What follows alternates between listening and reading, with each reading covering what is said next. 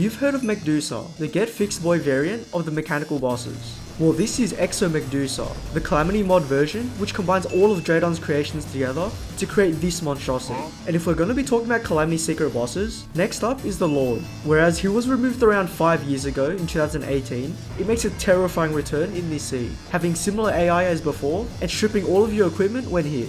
Finally, we have Supreme Alchemist Cirrus. This fight is quite literally impossible. Brimstone hearts are replaced with smiley faces, her brothers are replaced with baby Devour of Gods. Yeah, this fight's a complete mess. Full video here.